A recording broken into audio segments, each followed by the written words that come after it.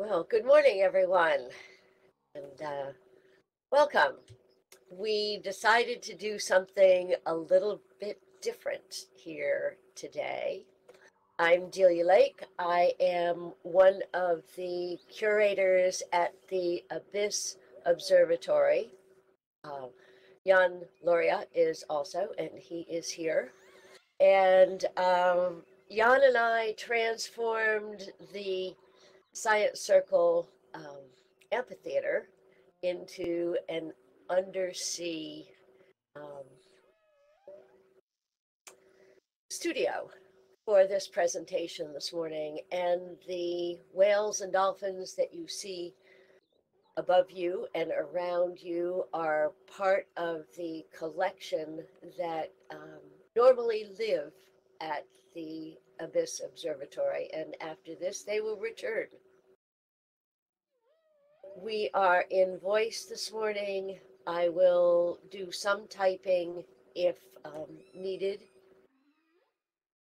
And uh, otherwise, instead of having a highly formal presentation, this is much more of a conversation. So I have prepared slides, um, but really, this is about whales, dolphins, porpoises, and us, we humans, and how how what we know about them, what we don't know about them, um, and more of an exploration than anything else. Above, excuse me, above on the surface of the water here, there are little balls for diving, little bits and bobs diving balls. So feel free to get up off your chair and uh, try one of those.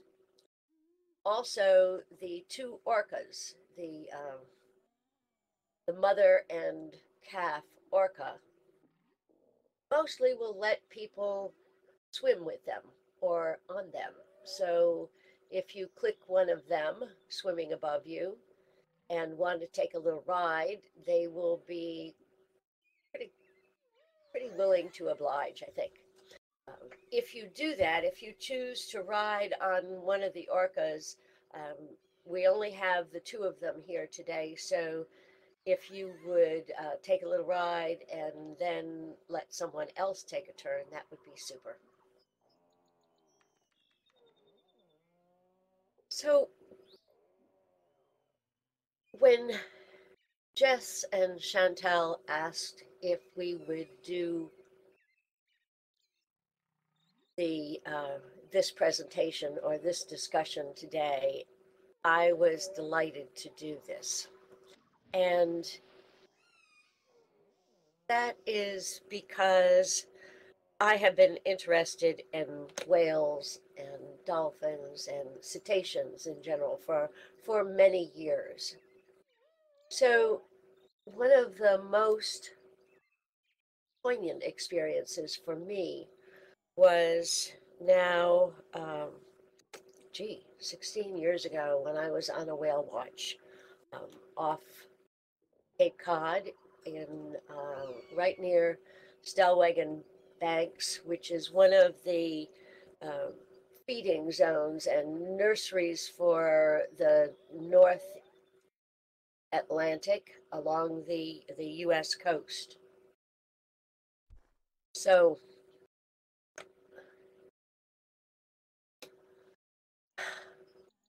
this is what I posted because this was really quite an experience for me. I'd seen whales, I'd been on whale watches before, um, but this was different. When we were first out, um, a bunch of, well, a small pod of fin whales zipped by. They're very, very fast. But they didn't stay. But a young humpback whale decided that we humans on the boat were pretty interesting and curious creatures. And he or she wanted to check us out. So, for a good 15 minutes, this humpback was performing, jumping, uh,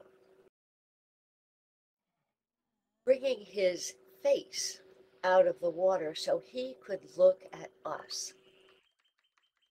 I snapped a few pictures, but, uh, and one of them is on the slideshow behind us. But mostly I was just entranced. And at the end of the 15 minutes, this humpback raised itself out of the water, turned to the side just a little, and looked directly at us. I was probably mm, 30 meters at the most from this marvelous, marvelous creature. And you knew, I knew, there was somebody sentient there. So that's an experience that never left me and probably and never will. So I don't know if anyone else has had that kind of experience. But this is an opportunity for us to talk together and share.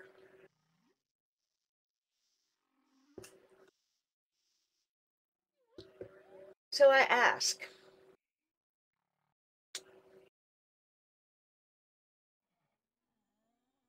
of the people here, have you ever seen a whale or a dolphin live?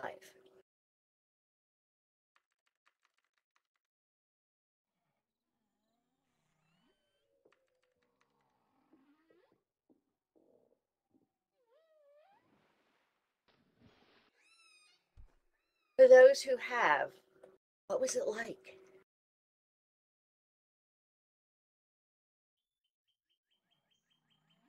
Were they in the wild? Were they in captivity? What was it like for you? What do you think it might have been like for them?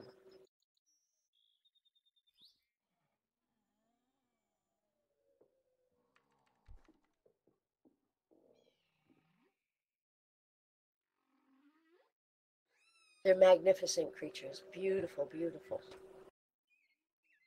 So we'll talk a little bit about whales in the wild and a little bit about them in captivity.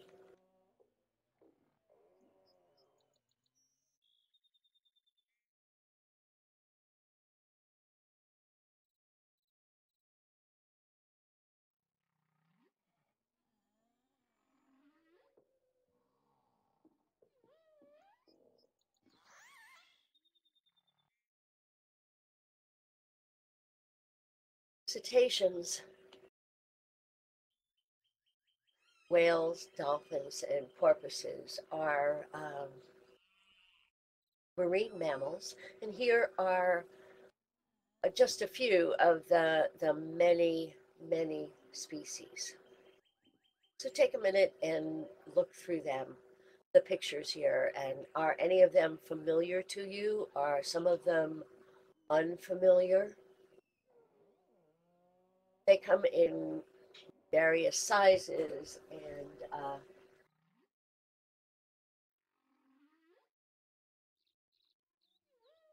shapes and capabilities.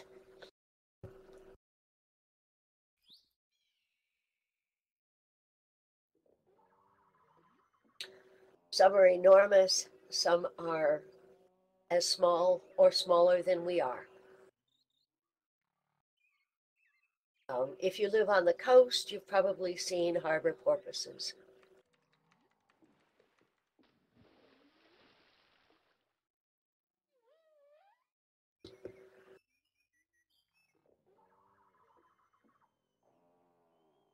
The blue whale is the largest of these creatures. It's not actually blue, it's uh, more of a a mottled gray and white that takes on the reflection of the of the water um, grow to 30 meters. So think about that. How long, actually, a little bit longer. Um, how long is 30 meter, meters? My house is not 30 meters long.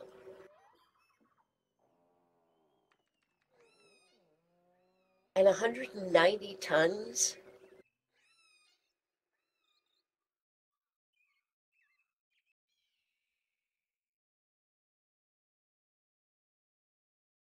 Jan, do you want me to try to move it up a little bit? I can do that.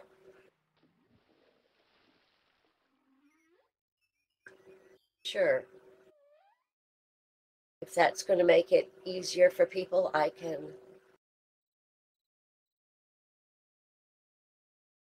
Yeah. That's easy enough. Oops, I don't want to be standing underneath it.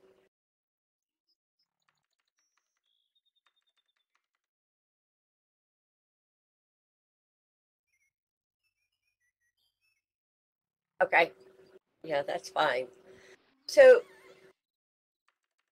most whales have a very extensive um, territory.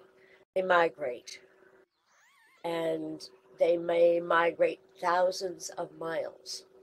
You know, not not hundreds of miles, but thousands of miles. Um, and 50 years is probably a um, conservative estimate. There is some evidence that some whales live 80, 90, 100 years. Um,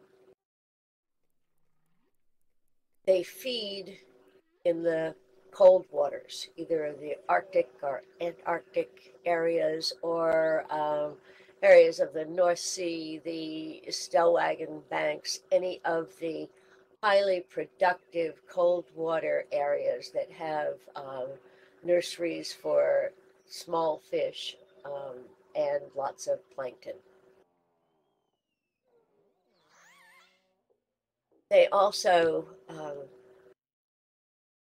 have longer childhoods and become adults mm, around 10 or 15 years of age. Some of this is hard to pinpoint exactly because there are no whales in captivity. I mean, not large whales in captivity. Um, so, although they're tagged, uh, some of the research is not exact.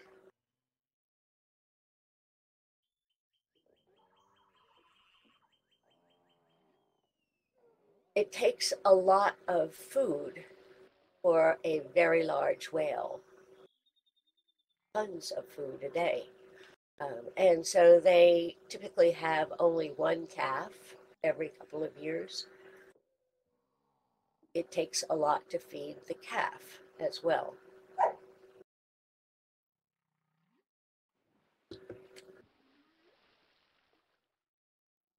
The smallest of the cetaceans is a um, the New England New Zealand dolphin, and there are four different species of them. Um, most of them are highly endangered. They're very small and live along the uh, the coast of New Zealand. They don't. They go out about um, 50 kilometers at the most from the coast.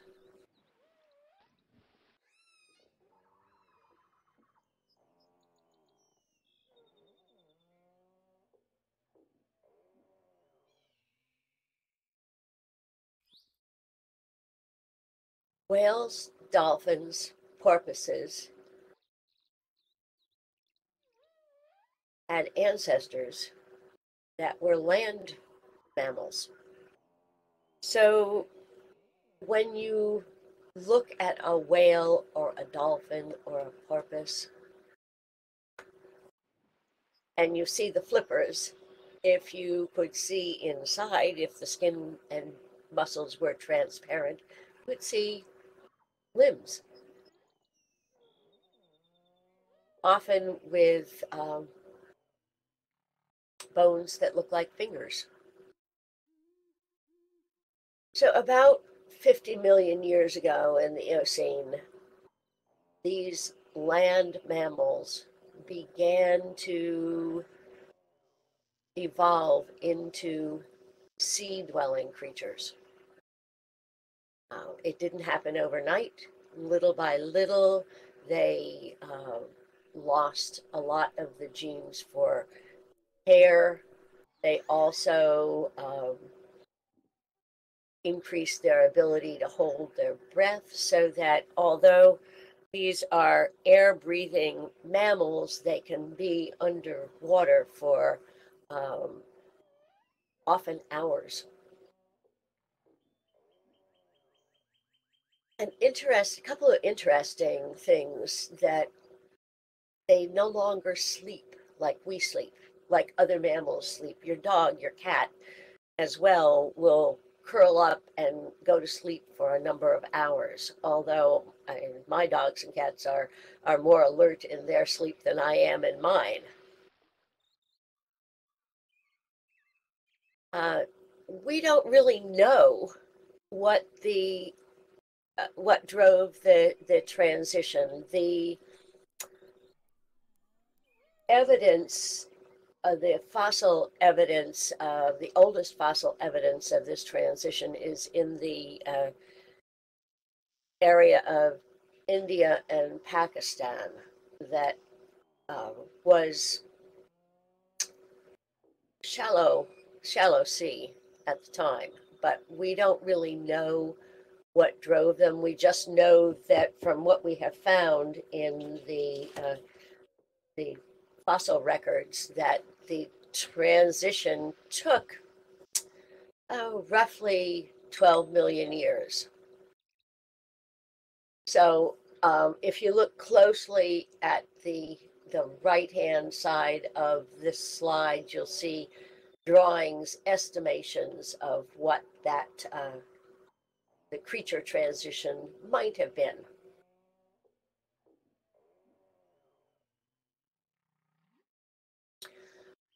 One of the things that I found really interesting, or find really interesting, this is that while land animals have um, genes for clotting blood so that our blood doesn't just flow out, that is a disadvantage for a deep diving sea mammal. So they've lost some of their uh, their blood clotting ability. If they didn't lose that, they would uh,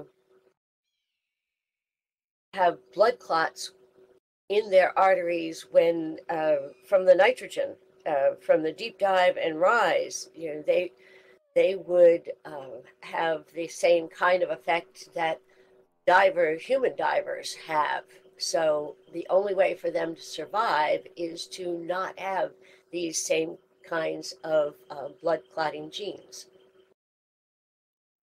So the other interesting thing is to me is that the closest relatives today of whales, dolphins, and porpoises are hippopotamuses.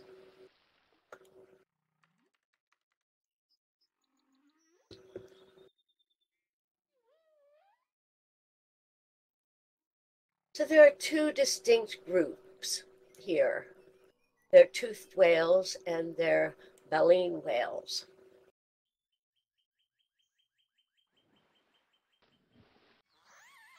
Uh, notice I have more than one number here for the number of species. That's because there are a number of estimates as to how many species there are. So it's roughly 70 to 75, but we're not actually sure. Um, it's hard.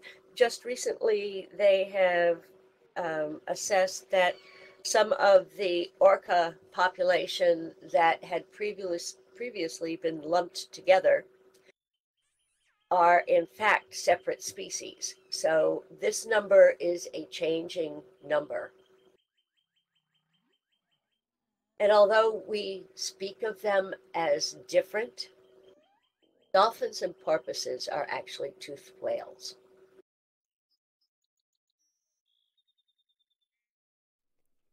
Most of them are ocean dwelling, but not all of them. There are five dolphin species that live in fresh water, and one porpoise. So, in the Amazon, in some of the uh, South Asian, Southeast Asian, Chinese rivers, you will have um, dolphins.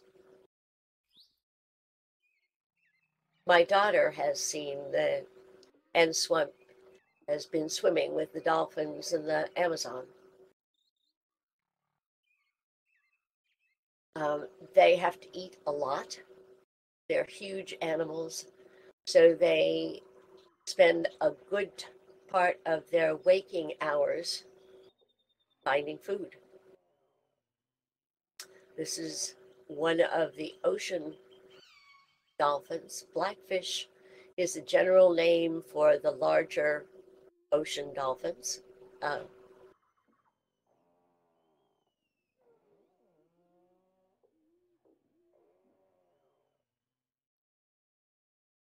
yeah, that's probably true that the um, they could grow larger because of the buoyancy of the water. But it also is going to depend on the availability of food.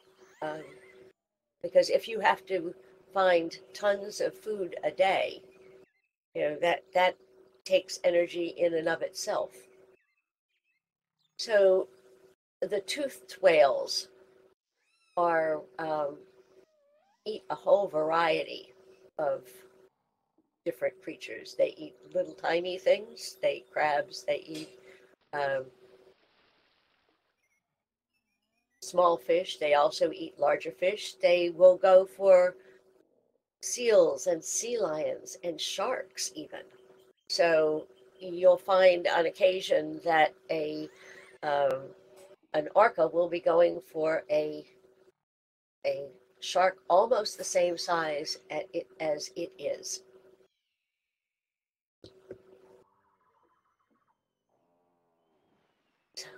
Baleen whales are the largest of the whale cetacean um, family species. They are um, the blue whale, the gray whale, humpback, all of the the whales that were almost hunted to extinction. Now, of course, without teeth, they have to feed somewhat differently. They don't go hunting their their prey with echolocation like the toothed whales do. They just go to the place where um, where there is an abundance of plankton and uh, small fish like anchovies, and open their mouths, scoop it up. And as they close their mouths and the water flows out, the baleen holds all of the edible creatures, which are swallowed whole. Um, yeah, for a long time they thought that the baleen whales developed first and toothed whales developed from those, but that seems not to be so. The, the current research shows that says that toothed whales developed first and baleen whales um, evolved from them.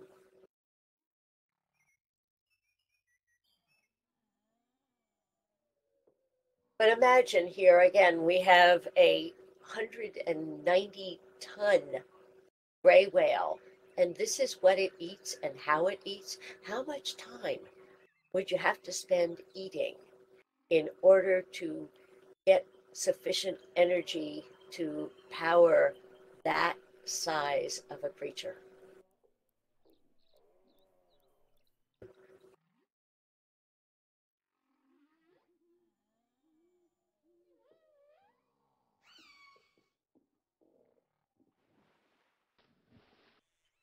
India has done what no other country has done to date.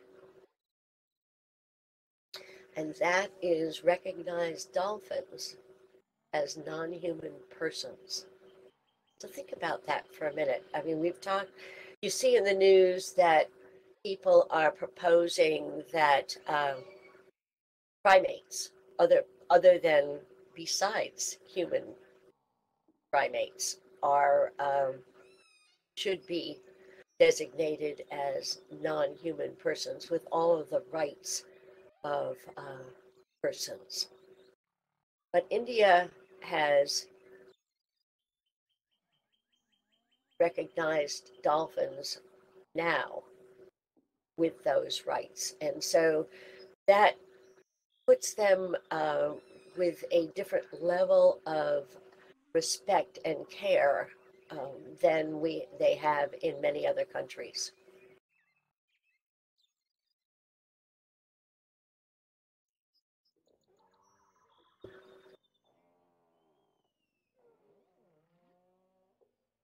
So we didn't really talk about it, but the basic difference between dolphins and porpoises is that dolphins are tend to be beaked and porpoises are not.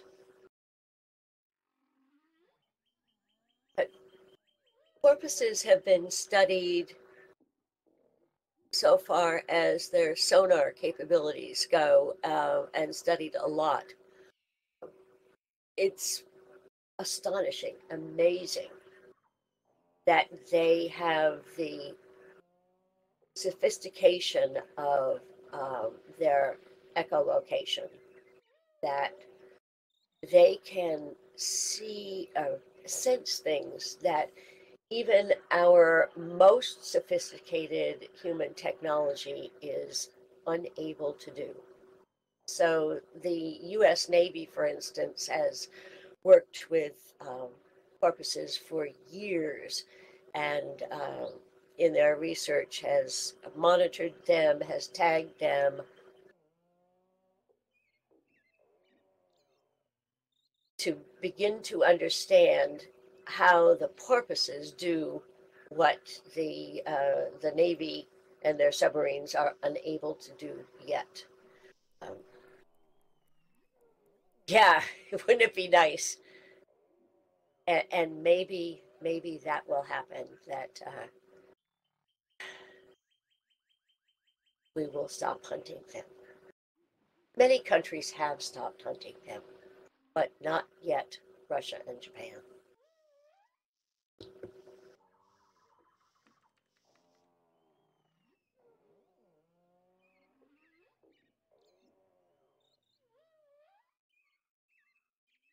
So, whales also live in social groups. They live in complex, sophisticated social groups, very much like um, many other mammals do, humans included. They know their families, they know their family members always. Um, they also know their friends. And yes, whales do have friends. So that it has been um, observed that whales that are tagged and haven't seen each other in a long time due to migration patterns when they get together when they gather in large groups uh, large communities um, of a number of different pods that they greet each other like glad to see each other just as we would do. Yeah i should go back to that i uh, on the echolocation um, that the porpoises not only have the ability to manipulate the pressure waves in the water, but they also can change the shape and the internal structure of their heads so that the, they can control the sounds and how the echo of the sounds by how they are able to shape their own heads. It's just astonishing. Imagine, just take a take a minute and try to shape anything on the inside of your own head.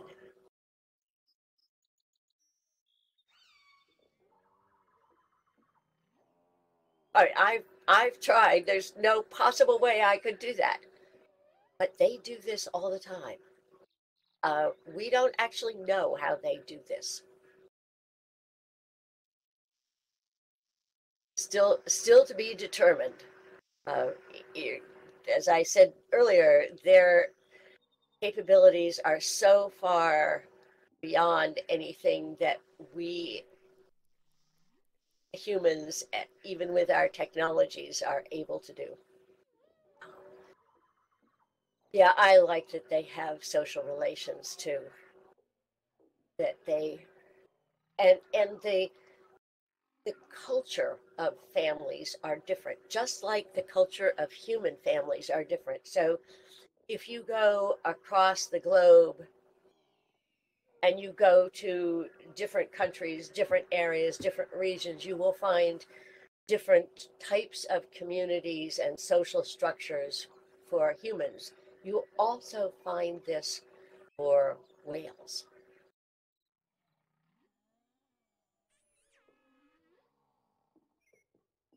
So that how they form their social groups is dependent, is cultural, and how they speak with one another is also cultural. They have dialects.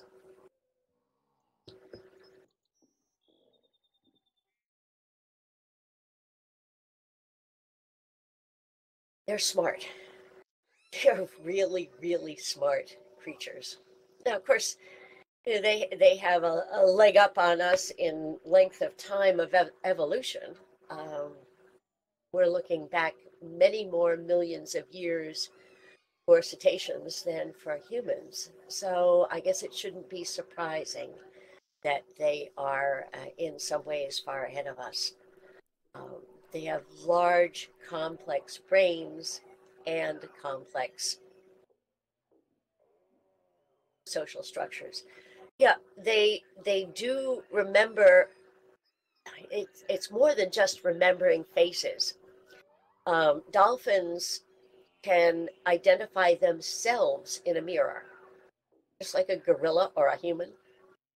So if they see themselves in a mirror, they recognize themselves as distinct from other dolphins. Yeah, really. Um, they are also capable of identifying their body parts related to human body parts. So, you know, arms, belly buttons, that sort eyes. if they they can distinguish, they can relate. Dolphin eyes. Oh yeah, that's humans have eyes too. Amazing, amazing, amazing. Yeah. Because they have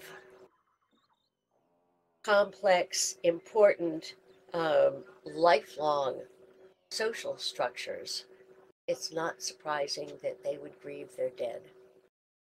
And this is the picture is of a striped dolphin mourning a companion, but there are also, this is only one, there are numbers of instances.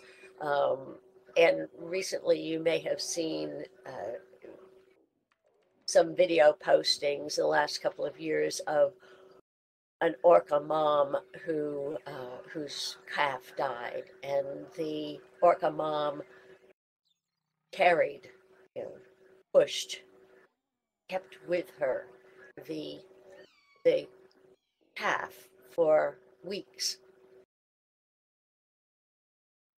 And then it was almost when she left the cat, let the calf go, it was almost a uh, a ritual letting go, just like it would be for a human.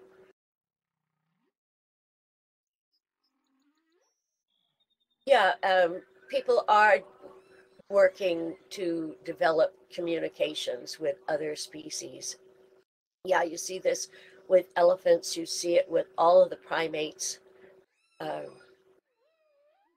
not surprising that any creature that would uh, have, well, you know, you even see it with birds. Um, this is again an aside, but it was years ago, and uh, near where I was living along the side of the road, there was a Canada goose that had been hit by a car and died. And for days, the mate of that goose stood by the dead mate.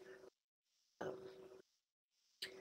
and so it happens in most species where you have an attachments.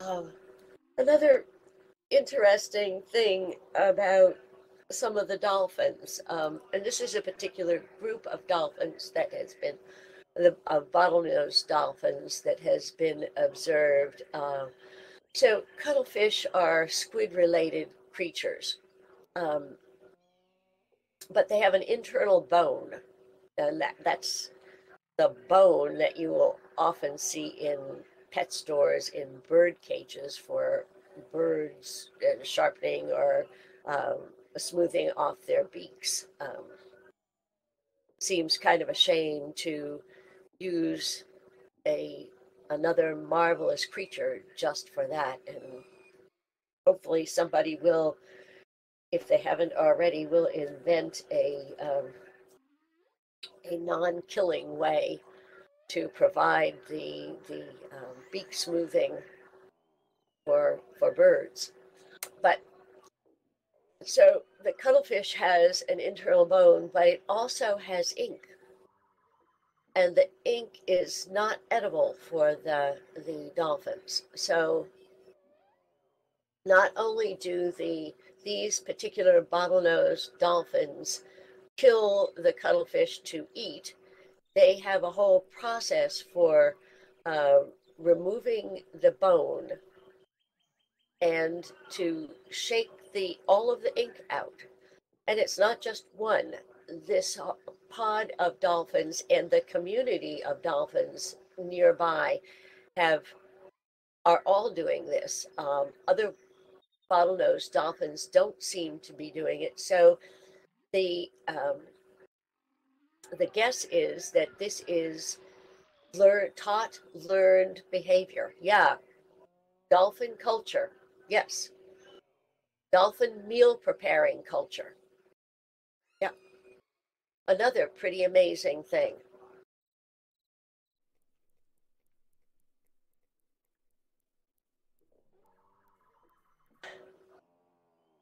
We know quite a bit about bird songs. But whale songs are at least as complex, if not more. So that whales do communicate because they have the uh, they're able to make low sounds. The sounds carry for miles.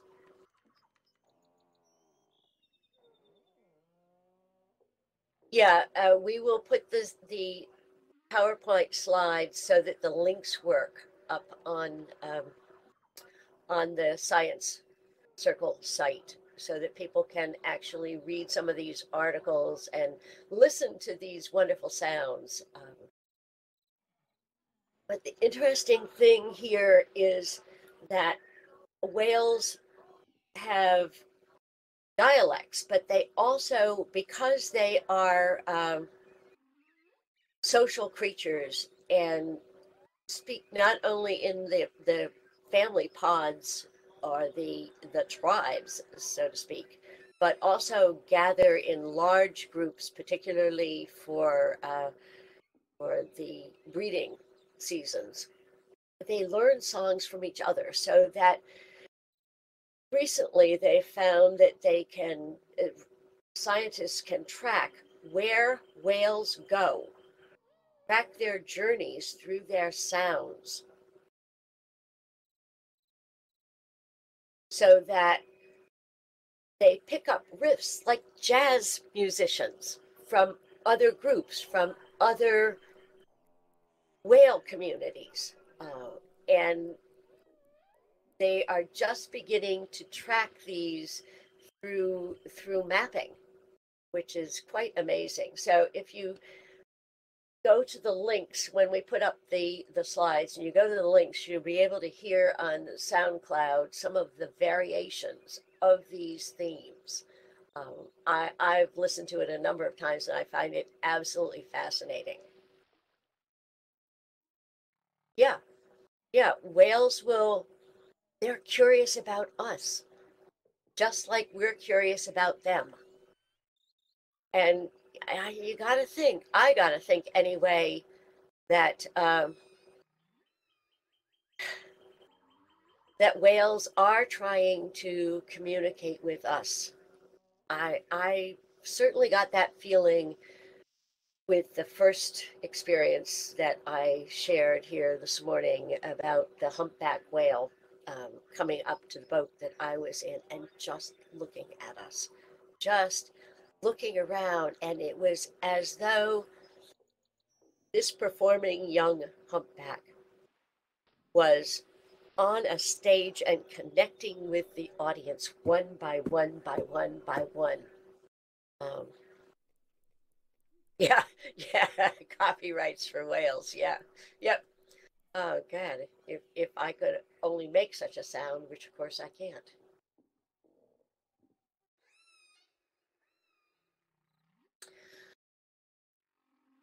Whales of all kinds are under great stress. Uh, Ron, you were talking or mentioning the uh, Chesapeake Bay on the eastern coast of the United States when we first gathered here this morning.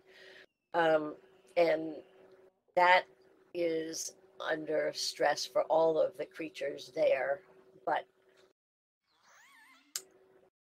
climate change and particularly the um, the warming of the ocean water because the oceans are absorbing most of the carbon dioxide. Most of the carbon dioxide that we are spewing into the air does not remain in the atmosphere but is absorbed by the oceans. So that is uh, a twofold problem. One is because we are warming the globe in general, the oceans are also warming. But two, because the oceans are um, absorbing carbon dioxide, they are becoming more acidic. So, why would that be such a problem for whales and uh, any of the creatures? And they they've shown now that the shelled creatures um, have softer, more porous shells, and so they are not as healthy. But it's even down to the microscopic algae and diatoms, all of the plankton and phytoplankton, and we've talked about this on uh, some of the tours in the that I've given at the abyss. Um, and when the cells are weaker, the creature, the tiny microscopic creature, is less healthy. They also store less carbon and they are smaller in size in the uh, in the warmer waters. In very cold waters of the Arctic and Antarctic, there is a fatty content to the uh, phytoplankton that makes them, those phytoplankton and the smaller fish, more uh, nutritious for the whales. So that here, they don't have the same uh, nutrition value, and you are we are finding whales that are undernourished. You know, you have whales and dolphins that are and porpoises that are washing up on uh, beaches and they are starving. Uh, it, it's both, Shiloh. It, it's uh, related, but um, a problem. But the acidity is something that you is not talked about a whole lot when the and if you drop for instance a, a a baby tooth into a glass of coca-cola or any kind of soda like that carbonated soda it will disintegrate over time over a, a short time where it wouldn't in um, regular salt water.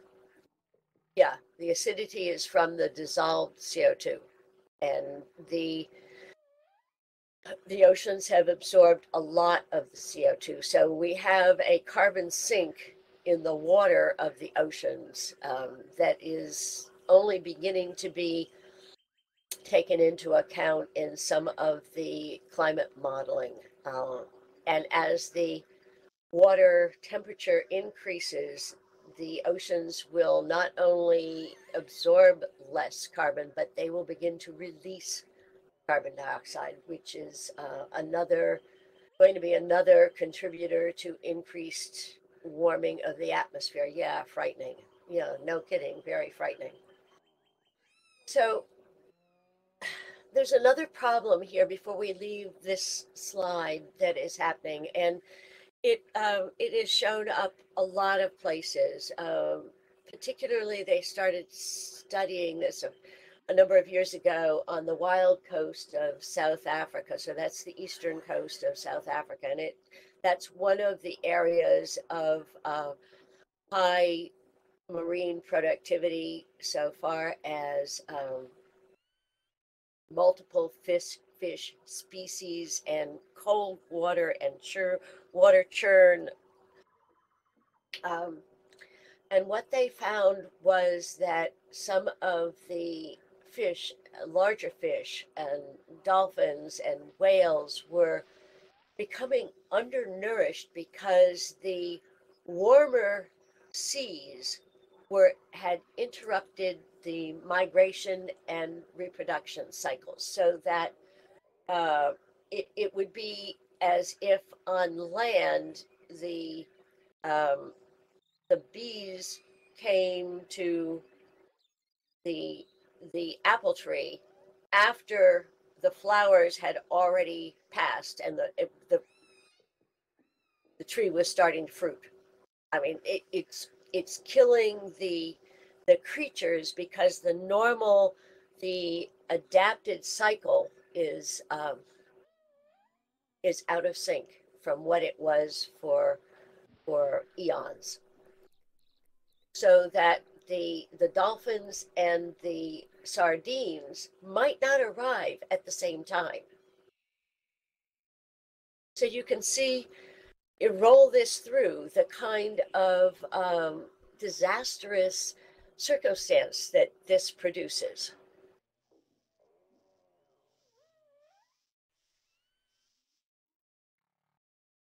And this is not just happening on the wild coast, it's happening all over the world in the oceans, and it is most of the time unseen.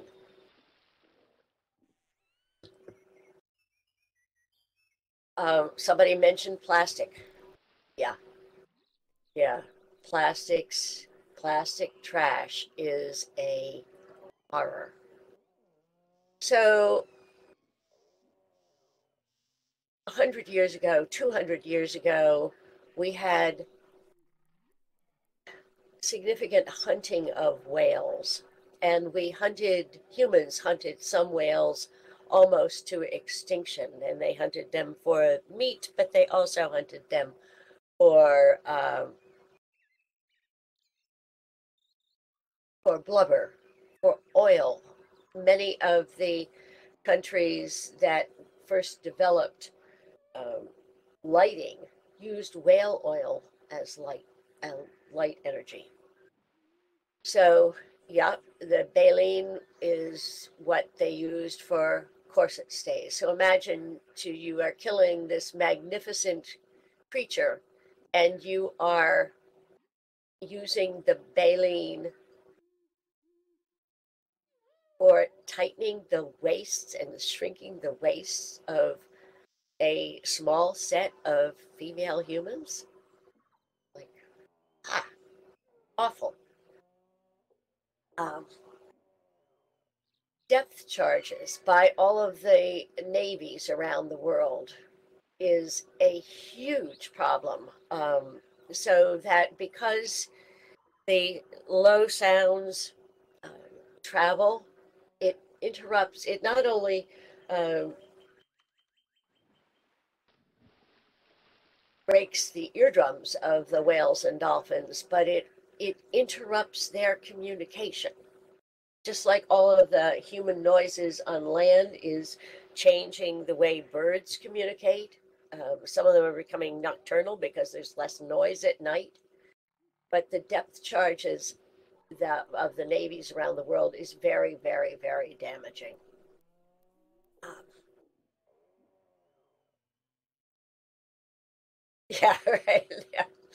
The smaller whales, the dolphins, the porpoises, are are killed in bycatch. So that if um, there's hunting, particularly by the large factory ships for tuna or any of the larger fish, the whale dolphins are caught in that.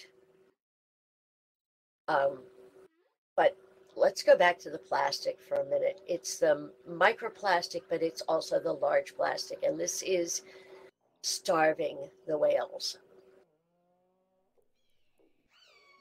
The the whales look at this as something that might be edible. It moves around, and many, many whales now have been uh, found on the beaches and uh, full of plastic. This is our problem. Yeah, we have done this. We are doing all of this. So that with the whale hunting, when people stopped hunting the whales any particular species of whales, uh, for instance, the right whale, the species came back because all of the other conditions were still there. They still had food, they still had um, their migratory patterns, they still, everything was still in sync. But we have interrupted all of the patterns now. So the chances that they can come back are not anywhere as near as good as they used to be. Um, one of the documentaries that has changed some of the awareness and some of the um, conversations about these magnificent, magnificent creatures was the 2013 documentary Blackfish, and this was is because it's still available about a an orca that was in captivity at SeaWorld uh, and has since died.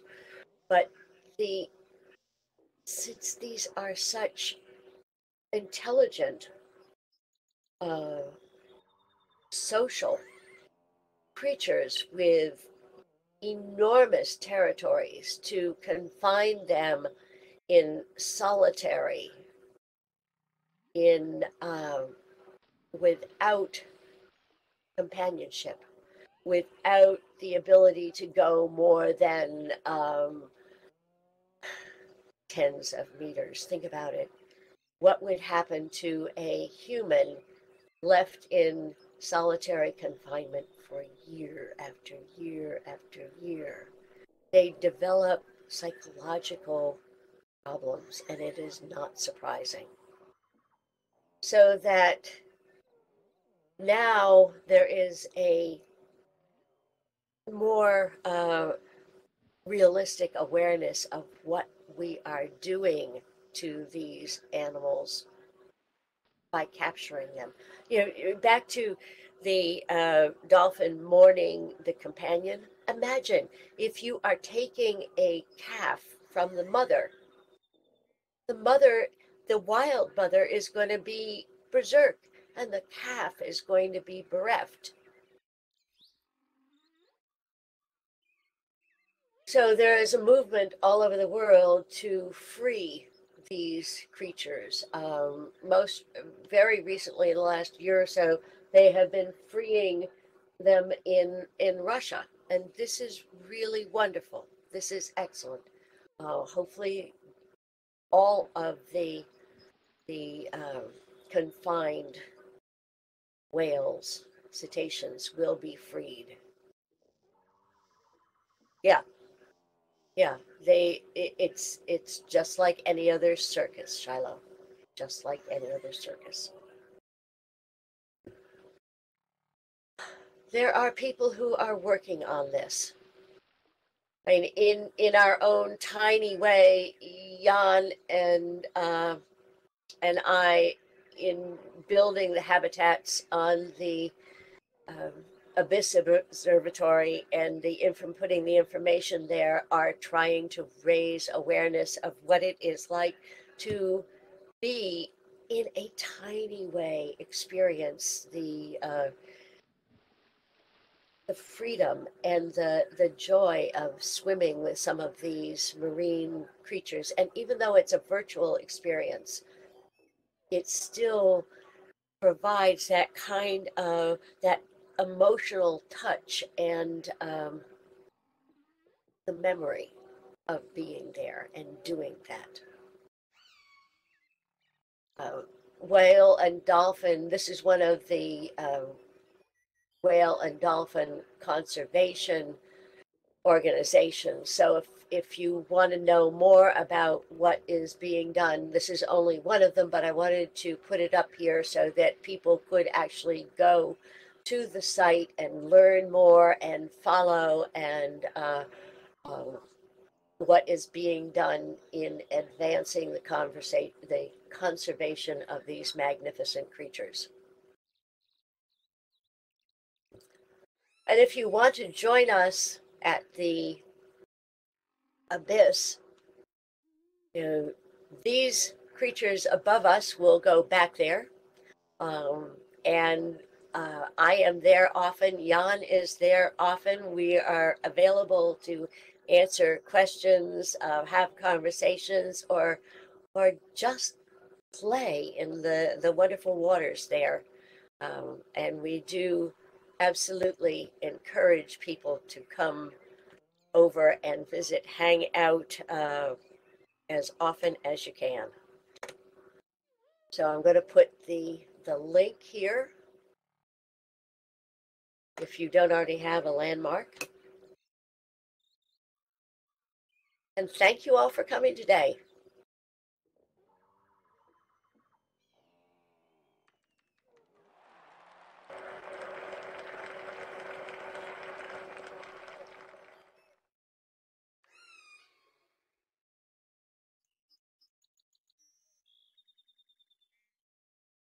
It was a pleasure doing this. I, I loved it.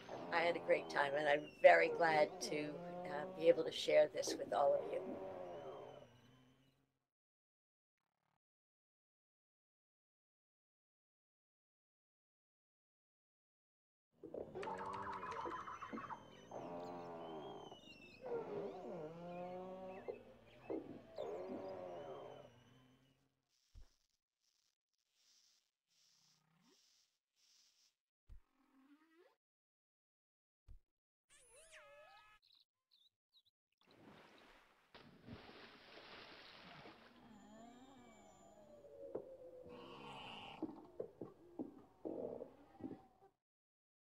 Yeah, yeah, because the the orcas will eat white sharks. They, you know, it's it's not always their prey, but that is one of their their prey animals. Yeah.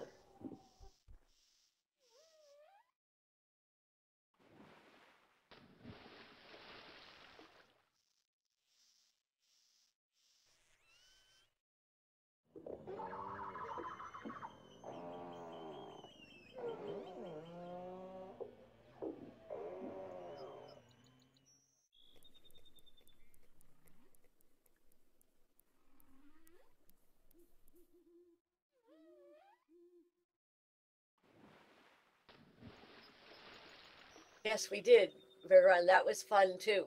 Yes.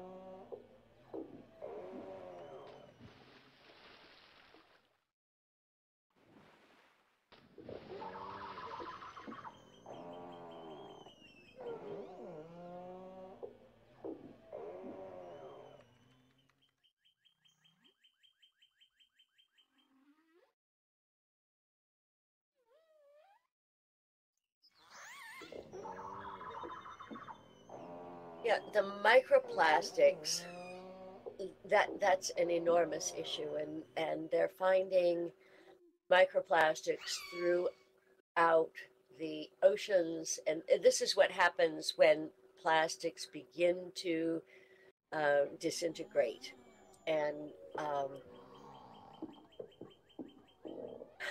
it's not only in the oceans at this point it is uh, everywhere so it is in the you're finding mic- we are finding microplastics in the uh, freshwater supply. We are finding microplastics that have um, in the air that from evap when the waters have evaporated and they're carried onto the highest uh, peaks of the Himalayas and the Arctic and all over the world. There isn't a place on the globe now that is uh, doesn't have some microplastic deposit.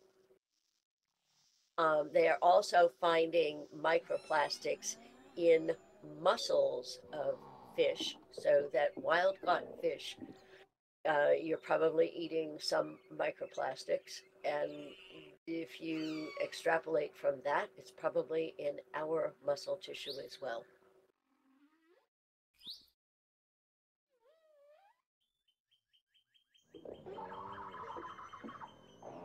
uh, atrazine it, it's concentrated in the lakes and rivers but uh, because the oceans are so vast it hasn't concentrated there like it has in in a number of the the lakes the freshwater lakes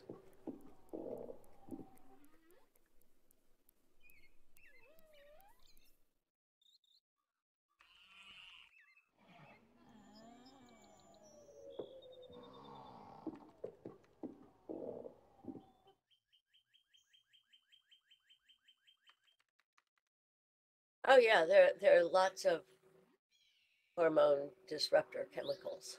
Yeah, but it depends. You know, there there are a lot of variables too with, uh, proximity and concentration.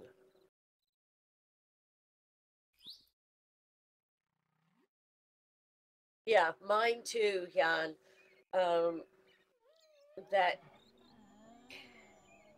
and this is happening in all of the the cold water areas that the nutrient um, upwelling is not as nutritious anymore. It, when the water is warmer, the the critters are smaller and it's not as nutritious.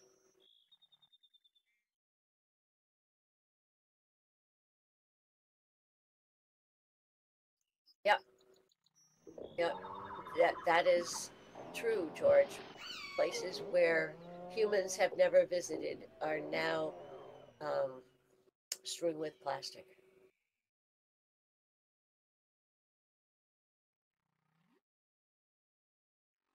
Uh,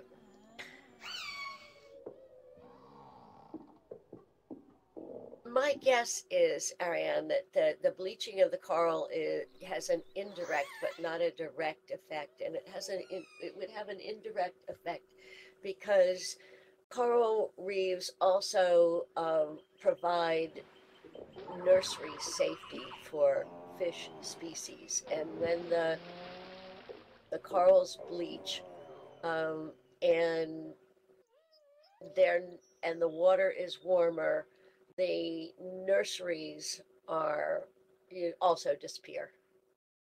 And so there are fewer of the the um, prey species for the marine mammals to eat.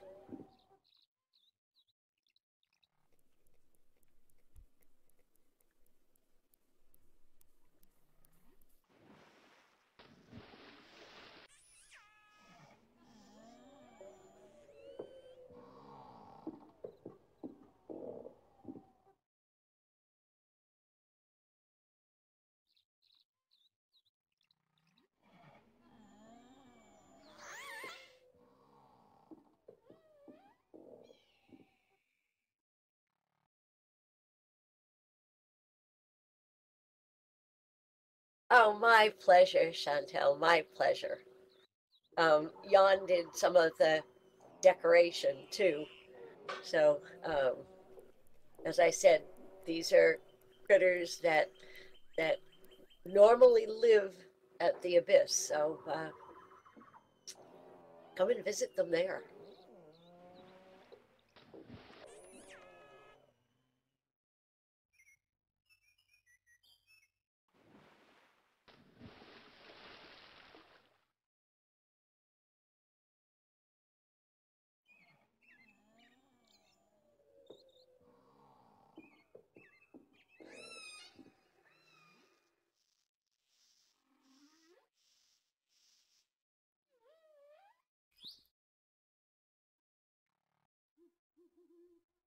Yes, teamwork.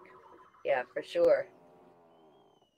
Uh, none of us could do this alone.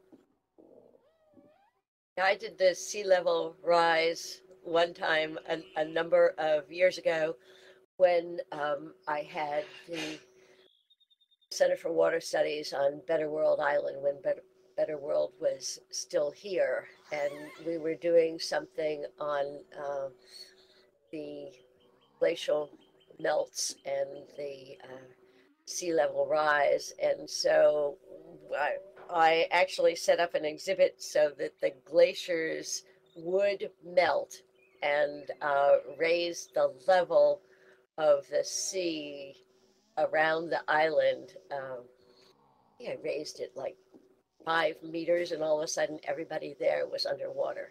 You know, it was a another example of how a virtual space can give a sense of being there, an experience.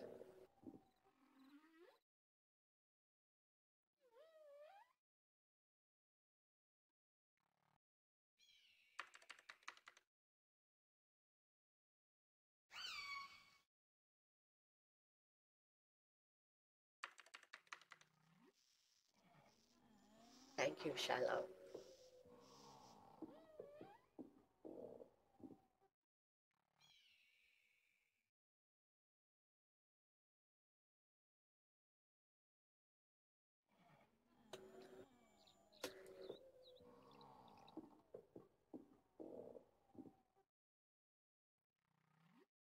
People are, of course, welcome to stay, but my very young dog um, in the solid world is nudging me to get up and uh, go take him out. So thank you again for coming. Um, I had a great time and I'm glad you all liked it. And see you soon.